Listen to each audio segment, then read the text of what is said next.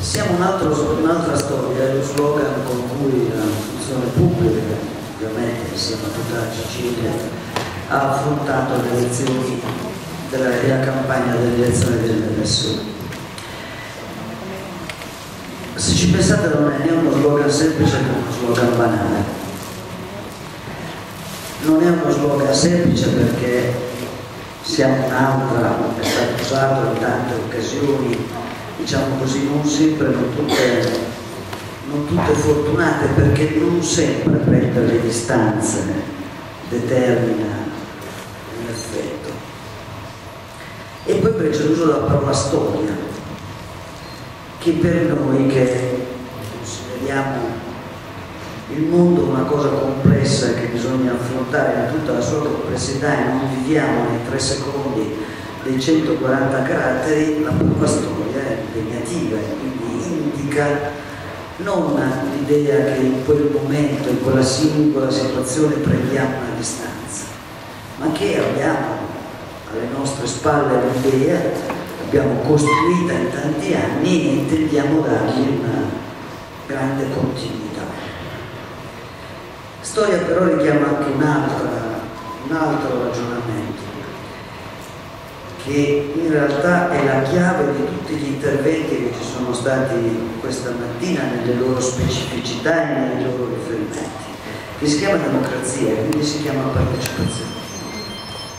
In realtà se ci pensate il messaggio che è stato dato dai presidenti delle municipalità, dagli interventi di vari settori è abbiamo delle idee, vorremmo confrontarci dove il luogo in cui ci si discute, arrivano gli ordini di servizio, non si capisce niente, non c'è l'idea di verso dà.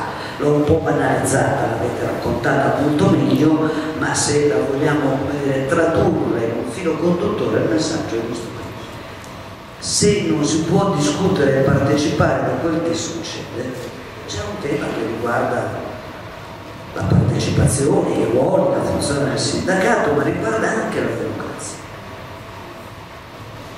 E quindi ci propone una domanda che sappiamo essere peggiata, ma sei anni di blocco contrattuale, la discussione non si fa sulla prospettiva le RSU come si collocano dentro questo? E allora appunto bisogna dire siamo un'altra storia. Dobbiamo riconquistare delle cose, dobbiamo riconquistare delle cose. Lo si può fare fuori? No, bisogna farlo dentro, bisogna farlo nei luoghi di lavoro. Non si può mai accettare un arretramento sul piano della democrazia in ragione del fatto che devi riconquistarti e ricostruirti un ruolo. Lo sottolineo per una ragione, sento un'aria che non mi piace. L'area in cui a troppi farebbe piacere che si partecipi poco al voto dell'RSU quell'area che in fondo così potrebbe trovare degli argomenti per dire che il sindacato non è rappresentativo, potrebbe trovare degli argomenti per dire lasciamo fare ai dirigenti, magari quelli nominati dalla politica in nome dell'autonomia delle amministrazioni, ha quell'idea che in fondo se si afferma una scarsa partecipazione poi c'è più libertà di agire come si vuole. Siamo un'altra storia perché la storia dell'RSU nelle amministrazioni pubbliche, tutte quelle di tutti i settori, è una storia di grande partecipazione al voto, oltre che di importanti risultati della Sicilia. È una stagione in cui possiamo permetterci che ce ne sia meno? Credo proprio di no. Perché? Solo perché c'è una sfida con il governo, una sfida sui contratti? No, io credo che ci sono un po' anche delle altre cose.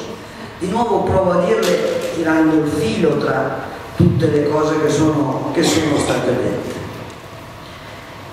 Non vi ha stupito il silenzio dopo la legge di stabilità?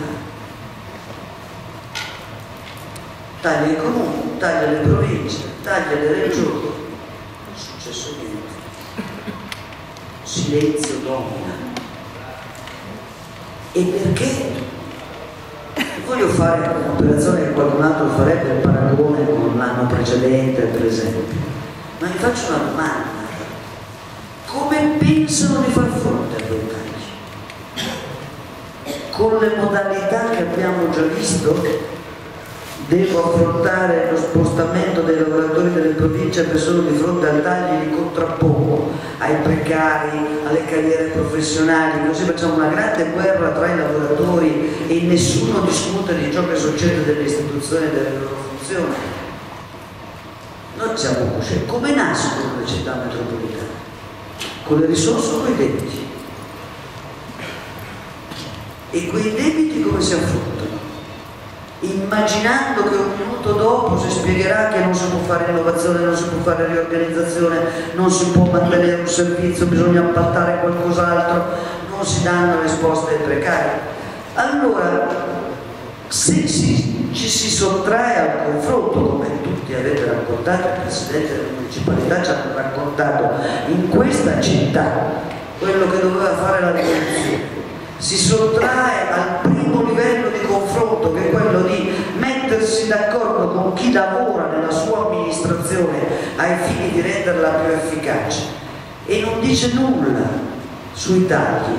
E forse c'è un'idea della pubblica amministrazione che non funziona più. Noi quell'idea lì la dobbiamo contrastare. Se non altro io credo che lo dobbiamo contrastare perché noi, noi sono molto importanti i cittadini, i servizi, le risposte che dai, diceva Rossana, una pubblica amministrazione amica delle persone, che è un salto di qualità rispetto al giudizio che c'è in giro.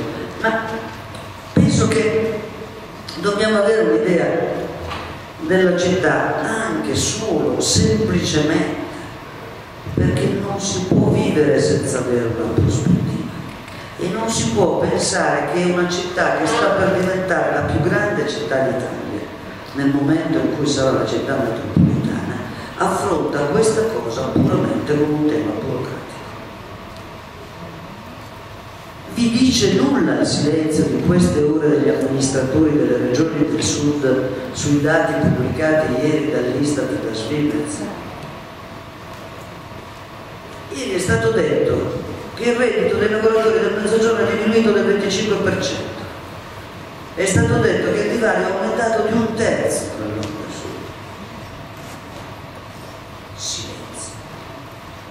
Non so qualcuno stia sperando nel Ministero del Mezzogiorno, mi auguro di no. Anche perché rischiamo di avere un Ministero del Mezzogiorno e non avere più il Ministero della coesione sociale. Le parole sono importanti eh, rispetto a quale significato hanno. Ma, dire, sembrerebbe quasi che un Ministero non si nega a nessuno, ma qual è la politica per il Mezzogiorno? Se l'unica questione che continua a venire posta è che bisogna togliere il cofinanziamento ai fondi strutturali, che bisogna fare trasferimenti di risorse verso il nord, che non c'è una politica degli investimenti e sulle amministrazioni pubbliche rimane solo la spending review, scusate, che risposta si dà al mezzogiorno? E c'è ancora qualcuno che pensa in questo paese, dopo questi sette anni attraversati in questo modo, che non dando risposta al mezzogiorno il paese riparte? Non so dove vada, come dire, ammesso in un concesso che parli. Ma se quelli sono i numeri vuol dire che nelle grandi città del mezzogiorno e non solo nelle grandi città è successo qualcosa.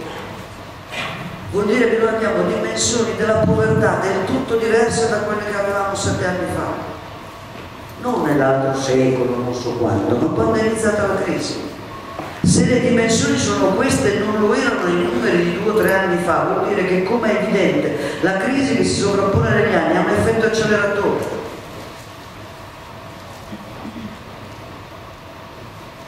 Posso dire un altro silenzio di questa stagione? Le periferie sono scomparse.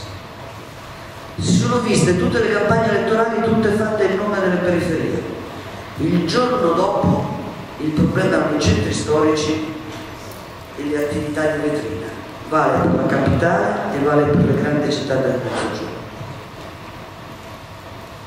Il divario, una crescita della povertà, non ti occupi delle periferie e poi ti stupisci, ma non ne parli, cresce l'abbandono scolastico, cresce la difficoltà di inserimento, tanta gente fa le valigie e se ne va, cioè tutte queste cose che sono diretta conseguenza di qual è il governo economico che tu fai, non si nominano più, per cui non sono più criminali.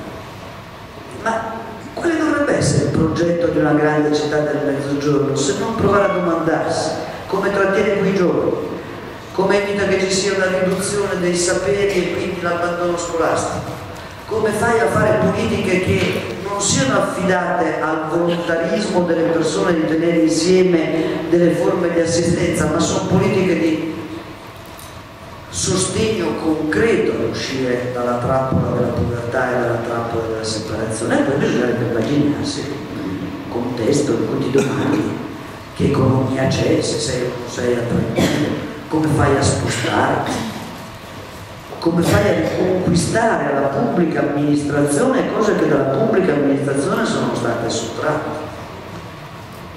Considerando che bisognerebbe amministrare, avendo magari un'idea, una popolazione di 3 milioni e mezzo di persone probabilmente, piuttosto un po' di più che di milioni, che non è fatta di territorio deserto, è fatta di grandi concentrazioni, di grandi comuni, di contesti anche differenti tra di loro, di necessità di ricostruirle, di metterle in rete, di punti di deindustrializzazione su cui devi intervenire, di punti in cui invece hai, hai delle attività.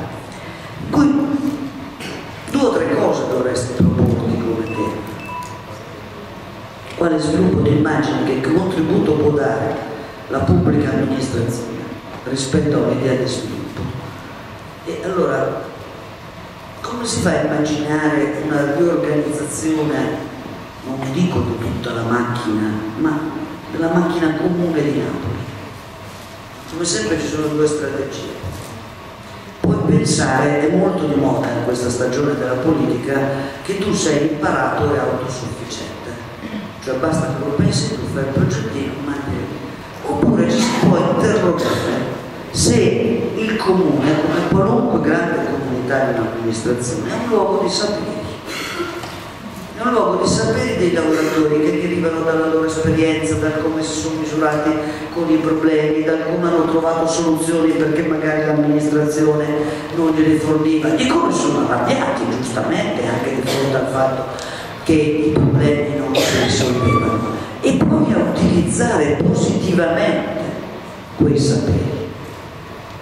Se avevano bisogno di scoprire che i saperi esistono, basta che ascoltino questa mattinata e forse scoprono che c'è chi conosce come è fatto il comune. Non nel solo senso che mi facciamo la piantina, ma nel senso che lo viviamo quotidianamente e abbiamo idea dei problemi, che c'è chi ha entusiasmo per lavorare per la pubblica amministrazione e si arrabbia non perché si sottrae al lavoro della pubblica amministrazione, ma perché non riesce a farlo come vorrebbe farlo e scoprirebbe che non c'è quell'idea che invece continua a guidare il rapporto con la pubblica amministrazione che facciamo tanti piccoli comparti stagni dove nessuno parla tra di loro e neanche mai carità dei cittadini perché molto ne sono degli intrusi nella vita della città. E invece c'è un'idea che se tu ragioni di un servizio e lo metti in rete con un altro puoi cambiare la condizione delle persone e c'è un'altra idea, che quali l'idea che sei il comune di Napoli, nel territorio di Napoli, non in un'astratta torre d'avorio dove disservi dei sistemi. E alla parola, per esempio, decentramento non dai un significato burocratico, dai una relazione tra come funzioni e il rapporto con i cittadini, considerando che poi il decentramento delle grandi città, come dire, ha delle dimensioni maggiori di tanta parte dei comuni d'Italia non è che siamo qualche decina di persone più o meno, un sindaco le conosce tutte e non riesce la sera. No, c'è una dimensione, come vedere, la città un po' diversa. Serve, serve l'RSU per tutto questo? Sì, serve. Serve perché anche nella stagione del blocco contrattuale non solo deve costruire l'iniziativa per smontare il blocco contrattuale, ma serve perché dare, deve dare voce e idea di cambiamento complessivo dell'amministrazione nei confronti di chi la dirige dal punto di vista amministrativo e dal punto di vista politico nell'amministrazione. Nell serve perché bisogna che noi continuiamo, insistiamo, ci ostiniamo a dire che se si continua a considerare il lavoro unicamente una merce, non si fa solo un disastro per quei lavoratori e per quelle lavoratrici, si fa un disastro per il Paese. Perché in realtà quando il governo decide che l'unica risposta che ci dà è la monetizzazione dei diritti, strana traduzione di tutte le crescenti, ma oggettivamente quella è la monetizzazione diritti crescente neanche tanto, quando il governo dà questa risposta dà un'idea, che è quella che tutto è trasformabile in denaro, tutto è comprabile, tutto è... Pensate che cosa vuol dire per una pubblica amministrazione l'idea che tutto sia trasformabile in denaro. E non parlo di stranezze inesistenti. Eh? Quando per esempio invece che somministrare della formazione si dice che ti voucher, quando invece che pensare al fatto che devi costruire una campagna contro la dispersione scolastica pensi a un uomo, quando come ricordava Rossana invece di lavorare sulla capacità di occupazione delle lavoratrici gli dici ti do un bonus ma non ti costruisco gli asili. Stai in realtà monetizzando sistematicamente la condizione di tutela delle persone. Ma se l'amministrazione pubblica deve monetizzare tutto servono dei ragionieri, non è che serva una capacità di erogazione qualificata del servizio, ma se serve solo l'erogazione dei bonus, dopodiché la comunità non c'è più. Perché la vera e straordinaria funzione delle amministrazioni pubbliche che sono interfaccia con le persone, con la loro condizione, con le loro difficoltà, con la possibilità di rilevare i bisogni che ci sono e quindi di come devi trasformare le tue risposte. Perché quando con passione ci si parla dei servizi per l'infanzia, si parla dell'idea di coesione delle persone che abiteranno in futuro questa città e che possono nascere come persone che non vedono nulla intorno a loro con una collettività che sa interagire, sa costruire. Allora la sfida dell'RSU, la sfida che noi stiamo facendo per affermare che il lavoro è la dignità delle persone, è una sfida di uno straordinario è esattamente la ragione perché quando c'era un ministro che diceva che noi eravamo i fannulloni ci offendevamo moltissimo ma è esattamente la ragione per cui sappiamo che se non riusciamo a cambiare le amministrazioni a costruire le ragioni il sentire popolare continueranno a echeggiare quelle cose noi non possiamo permettere che echeggiino quelle cose. Ma c'è ancora una ragione per cui è fondamentale. Il livello tra nord e sud il nostro paese è dato da tante cose. La prima delle quali è il differenziale di tasso di occupazione che c'è, il differenziale quindi del tasso di investimenti, di presenza, di presenza della produzione. Ma una parte di quel differenziale è anche l'uso che è stato fatto di questo territorio, le modalità con cui è stato utilizzato e anche quel tema che si chiama come funziona la legalità e la corruzione. Non perché sia un tema del mezzogiorno e non di tutta Italia, ma perché anche qui, dove le risorse sono meno, il fatto che vengano disperse nella corruzione e nell'illegalità rappresenta un doppio svantaggio, perché è un effetto moltiplicativo nell'assenza di risorse. E forse anche qui bisogna fare un salto di qualità dire ai tanti che quando non sanno cosa dire spiegano che è colpa nostra anche questo, perché abbiamo questo strano meccanismo per cui quando non si sa cosa dire c'è sempre dei lavoratori che sono colpevoli di tutto quello che sta succedendo. Peccato che se fossimo questa cosa per cui tutto passa da noi, forse meriteremmo ben altra attenzione di quella che ci viene riconosciuta, ma al di là di questo, il tema rimane questo. Noi bisogna che diciamo con più forza delle cose. Qualche giorno fa il procuratore Cantone, che sta all'autorità anticorruzione, ha spiegato a noi l'ospedale di Caserta.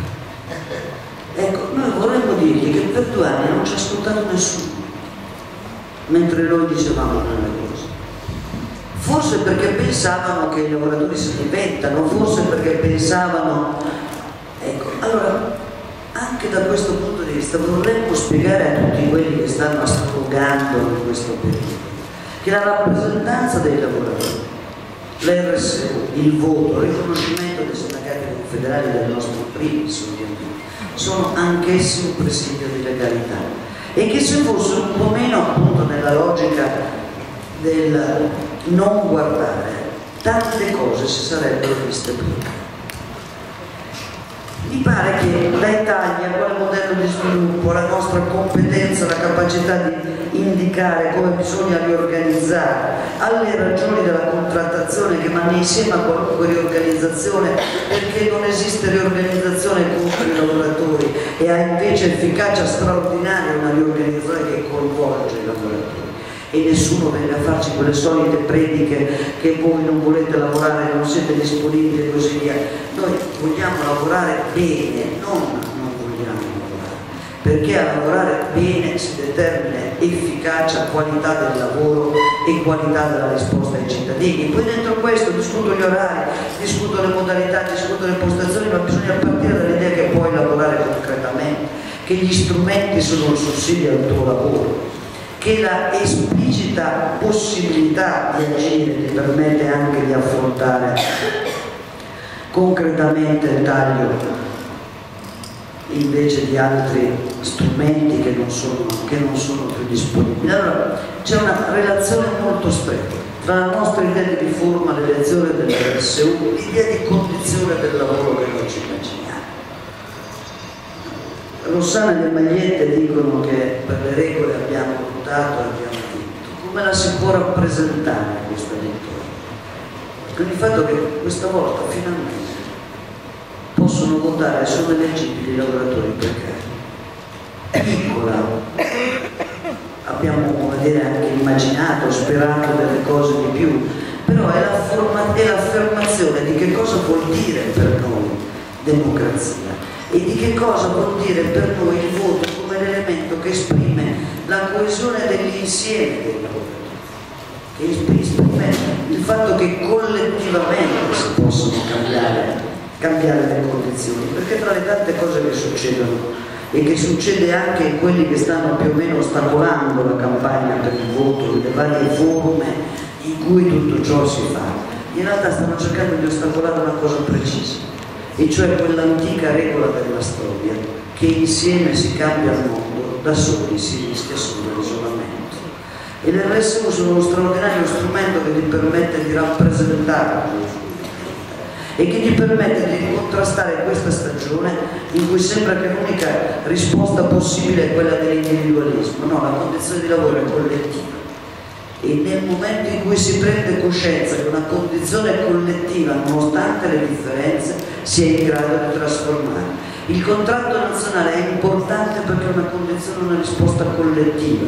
La contrattazione nei luoghi di lavoro, nella definizione della riorganizzazione come nella definizione delle condizioni concrete, è importante perché partendo dall'identificare che c'è una condizione lavorativa sei in grado di modificarla e di migliorarla. Non vi racconto che è semplice siamo in una delle situazioni più difficili della nostra storia.